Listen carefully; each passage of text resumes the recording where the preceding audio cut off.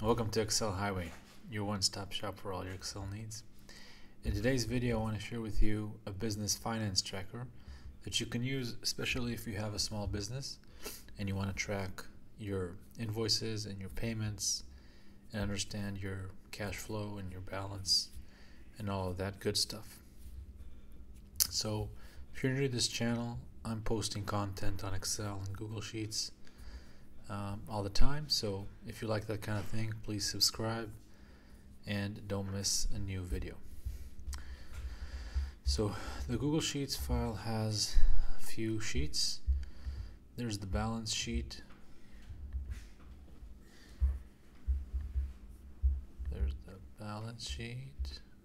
Okay, where you can see the starting balance for a certain date and how the money flows month by month there's the cash flow um, sheet where basically it's a pivot table where you can see more of a detailed look on all the different streams.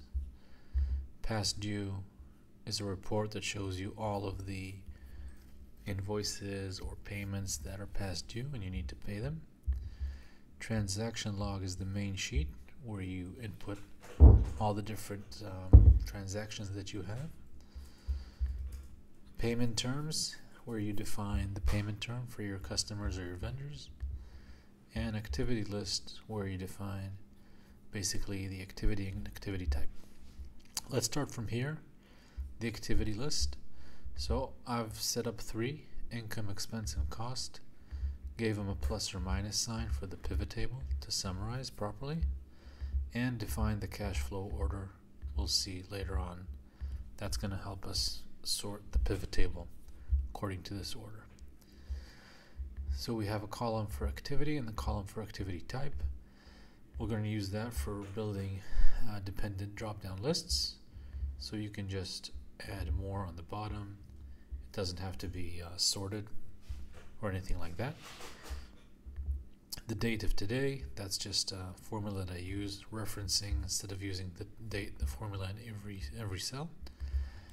And here is where it's building a dynamic drop-down list using um, these couple of functions, basically filtering the uh, the list based on the activity, then transposing, and of course using unique just so just to be on the safe side, to make sure that uh, there isn't uh, double uh, values, and this is referencing the transaction log over here. So whenever you select an activity, um, it will create the dependent uh, drop-down list. And then you'll see how that how we do that later but this is the first step. That's something that you need to set up once and then you're good to go. Payment terms you need to list the customers or your vendors and the payment term and you can even assign a default value. Uh, I put here 15 days. That's just if the certain customer doesn't appear or something just to be on the safe side. The transaction log itself what are the columns that we have transaction ID date the name of the customer vendor and here I'm using a drop down list referencing this. If you're not familiar how to create drop-down lists, go to data, data validation. You see I already have a few. Here the first one I wanted this to be a date, so I made this as a date between 23 and the end of the year. You don't have to do that, of course. Um, and here you see I just selected the range, selected, it's always on the drop down, so you need to select the drop down and then I'm just referencing uh, the payment terms. And you see I'm leaving the last digit out so that makes it endless. And basically if you add more rows it will just be added on. So that's how to create a drop down list. Also the same here for activity. And then the dynamic um, is built this way So it's referencing basically the activity list um, from here till the end of the the same row. Probably gonna have a detailed video just on that, how to create it, because it's kind of cool. But suffice to say that it works, and if you change to uh, income, then it has the income values. If you change to expense, it has the expense types. If you change to cost, it shows you the costs. Okay. Description if you want to add some more information, like this is your uh, mobile line, and this is uh, packaging. So this could be a lot of things. The amount, of course, in this case I've built it on US dollars. Then you have a checkbox if it's received or paid. Checkbox is also very easy to add data. Um, or sorry, insert checkbox. Okay, it's default. It just creates that true false to that area, and you just flag it if it's paid or not. And we're going to use that later on. Uh, any comment that you want to add? And here the orange columns are columns that are formulas. So this is the PL, order. I'm sorry, it should be cash flow actually. Cash flow order is more correct. Um, so this is where you defined the cash flow order. Simple VLOOKUP. Past due, it's checking if the due date. What's the due date? That's the payment terms plus the date. Payment terms, that's the uh, the uh, VLOOKUP here or the default if that doesn't exist. And past due is just checking if the date over here is um, is, is, is after uh, today plus it's uh, h2 is false meaning he didn't we didn't pay yet, yet. So that's going to be a yes.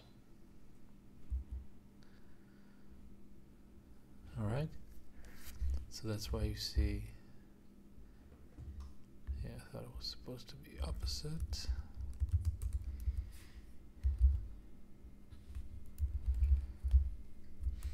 Quick fix okay so yeah you see uh,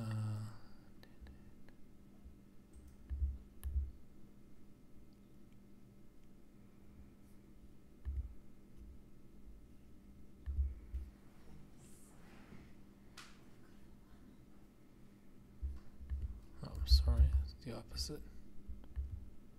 Right, this was okay. So uh, it was supposed to be paid on February 14th. Still haven't paid, so it's past due. Sorry about that. If you check, then it gives us the no. So that's the transaction log. Pretty simple. Not a lot to explain. The past due report. That is just for the for the uh, row. I'm just using transpose transpose for the transaction log, so I have the same headers and then I'm just using a filter function based on column K which is the due date uh, past due column. So just checking for the rows that are yes. So that's all that is. It just it's just an information um, sheet where you can just see which rows are past due and just handle them. Cash flow. So this is a pivot table. Just create a simple pivot table and then we use first row which is the cash flow order and I just slightly hid that because it's just numbers. But that gave me the the order because unfortunately unlike Excel can't move the uh, the orders of the pivot table. So I had to do it this way. And so we have the uh, cash flow order, activity, and the activity type. Then we have the due date over here in the columns and it's grouped. So you see I grouped it by year month. If I didn't group it, it just gave me uh,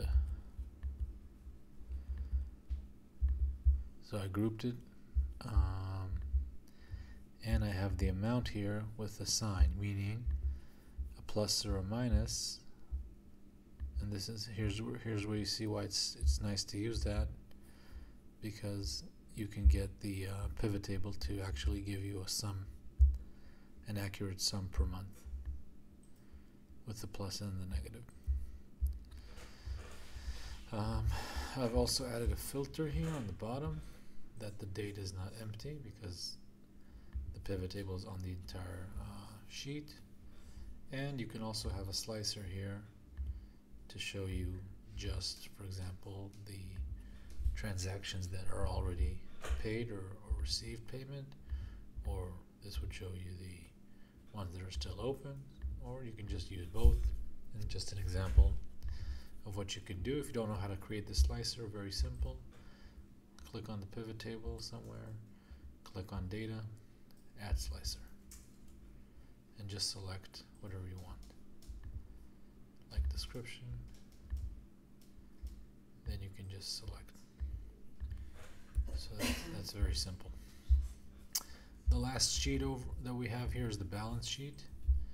The balance sheet you need to change these two cells the start date and the starting balance and it will show you the income for that period the expense the cost and the closing balance which is all four and then the opening balance is the previous balance closing and it goes on and on. So the starting balance is a formula. If I put here a different number everything will change. And then I just have sum ifs. Sum ifs for column L which is the amount. And then I am referencing column D which is the activity okay? And then column N which is the due date um, okay? And just looking for due date that's greater than the date I have here which is the first of the month and less than e date e date uh, takes the month takes the date further and by doing this way it's one month. See it takes it by one month uh, in the future. So basically it's uh, for the entire month. So it's greater than greater equal and less than the next day next month's first day. So that gives me the uh, sum ifs for all types of activities. Okay, that's it. Uh, I hope uh, you enjoyed this content. If you did, please hit that subscribe button. Uh, leave a comment if you want, and I'll see you next time. Take care.